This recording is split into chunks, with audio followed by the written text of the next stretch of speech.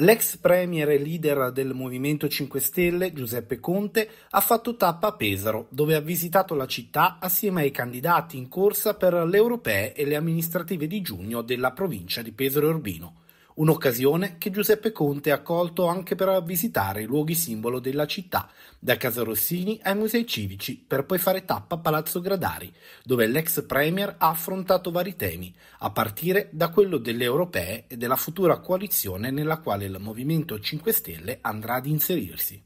Avremo un gruppo di europarlamentari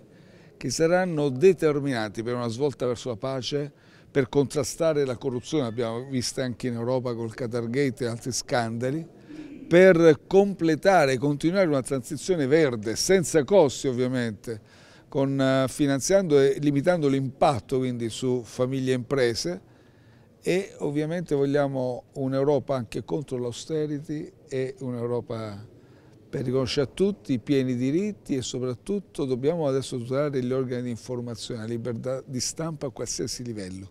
Giuseppe Conte ha poi aperto una parentesi sulla città di Pesaro e sul Movimento 5 Stelle pesarese, che nel 2019, con l'accordo di alleanza siglato tra il sindaco di Pesaro Ricci e l'assessore 5 Stelle Frenquellucci, ha anticipato i tempi di quella che poi è la grande alleanza del centro-sinistra sul panorama nazionale. Qui è stata anticipata una traiettoria, eh, c'è un'esperienza amministrativa dove noi Abbiamo portato dei risultati di cui siamo orgogliosi, su vari progetti ovviamente in linea con la nostra sensibilità, eh, trasparenza,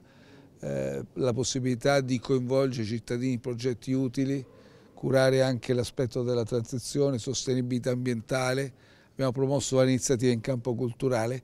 e dell'innovazione. Quello che è importante è proseguire questo dialogo ovviamente con rispetto reciproco della pari dignità e la possibilità ovviamente di approfondirlo perché se ragioniamo poi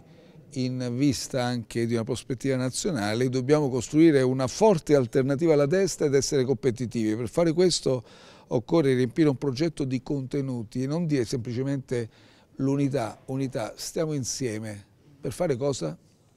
Da Pesaro arriva poi anche la replica dell'ex Premier Conte in merito al via libera per quanto riguarda la fiducia al superbonus arrivato da parte del Senato. Evidentemente il governo vuole mascherare i propri fallimenti, quindi si aggrappa al superbonus, tra l'altro litigando internamente come ben noto, però non tiene conto dei danni che fa a famiglie e imprese. Ancora una volta, ma ormai è una costante, pensiamo agli extra profitti, anche lì non si tiene conto del fatto che ci sono famiglie, imprese in difficoltà, c'è stato un caro mutui, addirittura molte case vanno all'asta e il governo non riesce a prendere un euro dalle banche.